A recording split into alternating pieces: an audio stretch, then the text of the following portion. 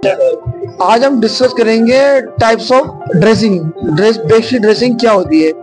सबसे बड़ी बात ये, हमारा सलाद बनने से पहले हमें पता होना चाहिए उसकी ड्रेसिंग क्या होती है। आज मैं इसके ऊपर चर्चा करूँगा और इसमें बेसिक दो तरह की ड्रेसिंग होती है। एक म्योनिज बेस होती है, जो म्योनिज बेस होती है वो आपका, उसमें ऑलिव ऑयल और आपका अंडा होता है। आजकल वेज म्योनिज बनने से सोयाबीन से बनती है, उससे बनती है और सेकेंड होता हमारा विनेगर हमारे तीन चार तरह की होती है। पहली होती है आपकी फ्रेंच।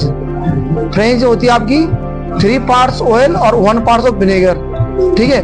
उसके बाद हमारे पास इंग्लिश विनेगर होती है वो होता है वन पार्ट्स ऑयल और टू पार्ट्स विनेगर उसके बाद हमारे पास होती है तीसरी तीसरी होती है हमारे पास अमेरिकन अमेरिकन होती है इक्वल मतलब उसमें ऑयल भी और आपका ये विनेगर इक्वल रहेगा और उसमें सेम मस्टर्ड और शुगर ये रहेगा जैसे ऊपर वाला में इनमें रहता है। चौथी आती है हमारी लेमन लेमन में क्या होती है? वो भी इक्वल होती है, पर उसमें थोड़ा शुगर ऐड हो जाता है और उसमें विनेगर हट जाता है और लेमन ऐड हो जाता है। बाद वही सेम रहता है। तो ये बेसिक ड्रेसिंग हमें पता होना चाहिए कि कैसे यूज़ होती है। तो बेसिक ही हमारी ड्रेसिंग है जो मैंने आपको आज बताइए तो इसको आप लोग आपस में डिस्कस करते रहिए और इसको अगर आप लोगों की चीज़ अच्छी लगी, आप लोग अपने ग्रुप में शेयर किए ताकि हर किसी के पास नॉलेज पहुँचे।